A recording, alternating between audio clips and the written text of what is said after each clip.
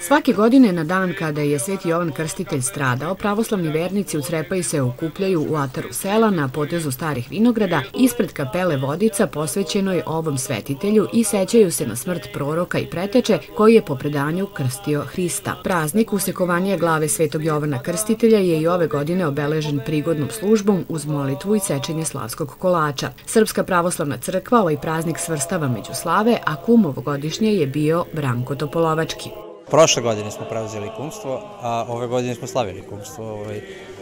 Pa to je običaj, tradicija kod nas već godinama, ne znam koliko godina unazad, ali mnogo godina unazad se to slavi u našem selu ovdje u starim vinogradima i lepo je, kako da kažem, znači Koliko to vama, vašoj porodici znači?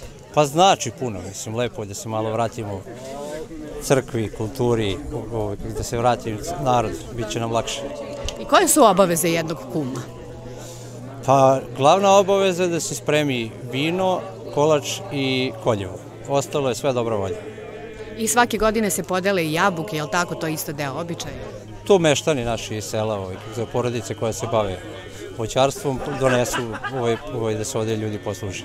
I ko će biti naredni kum koji je ove godine preuzeo kumstvo za narednu? A naredne godine je Duško Višnjički. Bio sam i pre dve godine, pa opet vidim neko, neće ljudi da se javljaju, verovatno. Ne znam šta je, ali eto, ja sam zato eto malo spremi se kolača, malo pića, malo dođe, eto, videli ste, nije to ništa strašno.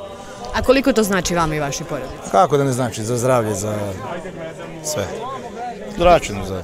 Jel se ljudi vraćaju na vodice kad su ovakvi događaji u pitanju? Pa ja ne znam, ne pamtim da godinama je bilo mnogo manje ljudi.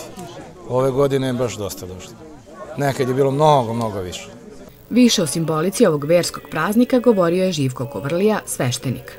Ovaj dan je drugi veliki petak. Prvi veliki petak, to jeste jedini veliki petak, je dan kada, kada su ljudi Boga usudili, Boga na Golgoti raspeli, a ovo je drugi veliki petak kada su ljudi najvećeg čoveka od žene, od žena rođenog osudili smrću, čuli smo kakvom pogubljenjem, to jeste sečom glave i to je iz tog razloga veliki praznik, a samim tim on je jedno posebno mesto zauzima Sveti Jovan kao veliki prorok, odnosno preteča gospodnji i odmah posle presete Bogorodice on je taj koji najčešće sluša nas, ljude, sluša naša moljenja, naše molitve, naše molbe. Ako su one zaista iz dubine duše, onda je on taj koji vrlo često zaista pomaže ljudima na razne načine, moleći se pred Bogom, jer on je blizak Bogu, on je njegov preteča, prvi, znači odmah do Boga, što bi rekli njegove reči kad kaže gospodu Bogu, kad se on zauzme za nekoga, to naj, najčešće gospod usliša, ali da bi se zauzeo, moramo mi naše srce, naš, našu dušu da usmerimo ka tom putu, ka tom cilju, znači da bude iskrena ta molitva i sve ono ostalo što treba da krasi dušu. Što znači da ovaj praznik je zaista veliki i jedan od praznika koji su posvećeni Svetom Jovanu, a svaki utorak u godini je dan koji je posvećen, molitveno posvećen ovom velikom ugodniku Božijem proroku preteči, preteči krstitelju gospodinu Jovanu.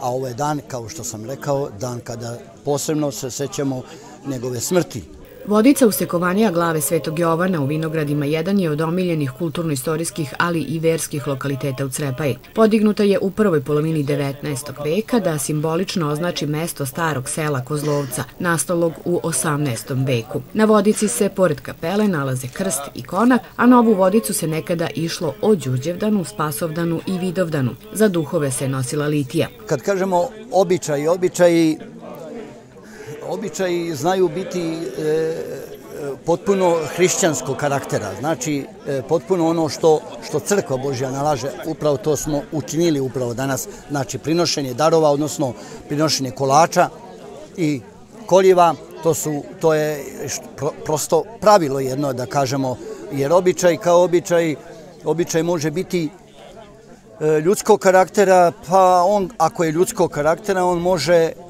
i da se ispuni i da se ne ispuni i da tu nemamo neku e, dimenziju e, greha da, da nismo ispunili ako, ako je ljudsko karakteralno što je od crkve e, naloženo upravo rezanje kolača, zbog čega smo se i okupili ovde, to je onda Bogu ugodno i to je onda običaj koji, da, kaža, da ga nazovemo običajem, ali ja bih više volio da se kaže, da kažemo pravilo jedno, ovaj, koje, koje poštujemo, upravo smo ga, da kažem tako, ispoštovali.